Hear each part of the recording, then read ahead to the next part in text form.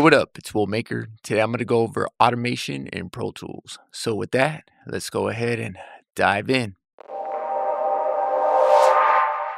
The first thing that I'm going to touch on are the modes. Now with the modes, you have off where you can turn off all the automation on the track. Read mode, which reads the existing automation. If you want to do hands-on automation, you can use touch mode. This will record the automation of a parameter when touched. Latch is like touch mode, but continues to write automation till you stop the playback. In touch latch mode, the volume fader works in touch mode and all other parameters work in latch. Write mode I stay away from completely. It's going to record the parameters of where they are or changes you make while writing your automation. You're basically creating automation the moment you hit record. Also to make sure that your automation parameters are set up, you come up here to window and come down to automation. And these are the parameters that are going to be on during your automation. First, I'm going to show you how to automate a send. And if you don't know how to set up a send, I got a video for that up here. I have my delay right here on my send and I've created my return right here. Now that my send is set up, I can come over here where it says waveform. Now I have access to level, level trim, mute, and pan. I'm going to select level. Now you can either draw in your automation with touch or latch. I just drew in my automation, adding a delay to the last word of the verse. At any time, you can just highlight a section and you can just draw in your automation here. Delete by just highlighting and delete. This allows you to set up any reverbs or any other effects that you want to automate. Here's the example with the delay. We'll see how real odds stack up against me when the game is on the line.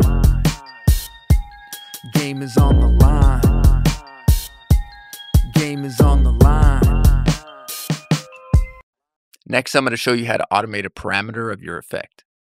Next, you're going to come up here to this window, and now you can automate any of these parameters here simply by adding. Now, an easier way what you can do, you can just come over here and put your cursor over the parameter that you want to go ahead and automate. On a Mac, I'm going to hold Control Option Command, and then I'm going to click and I'm going to enable automation for feedback. If you're on a PC, this is going to be Windows Control and Alt. Now, because I'm automating the feedback, I come down here to my delay track and I can go ahead and select feedback. Now, once again, I can either draw this in or I can use touch or latch. I'm going to go ahead and use touch in this case. So now I'm going to go ahead and just hit play and I'm going to go ahead and do my automation. We'll see how real odds stack up against me when the game is on the line.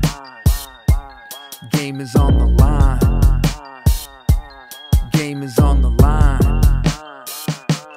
Game is on the line. Find a way. And now you can see in playback, my parameter is automated. We'll see how real odds stack up against me when the game is on the line. Game is on the line.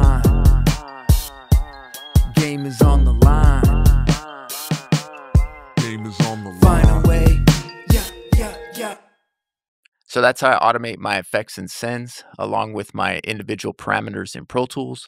So if you like content like this, please feel free and like and subscribe. Other than that, peace out.